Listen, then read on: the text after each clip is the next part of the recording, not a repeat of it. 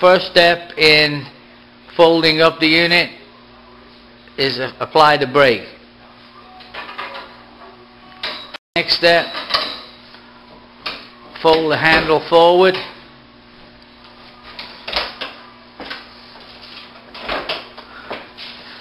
Take the lid, fold it back over the handle. Then remove the bag or any waste.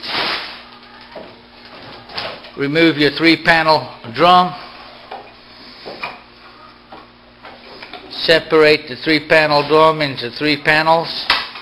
It can be loaded, you know, separately. It folds totally flat.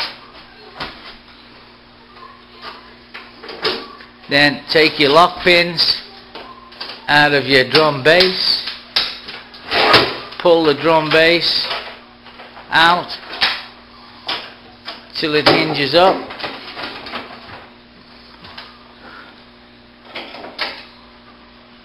Take the bungees, hook them to the drum lid points for fastening. There's your folded unit ready to load on the van or, the vehicle.